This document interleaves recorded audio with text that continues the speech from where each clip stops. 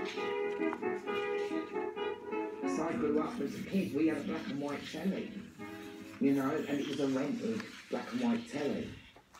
And then suddenly we moved on to colour telly.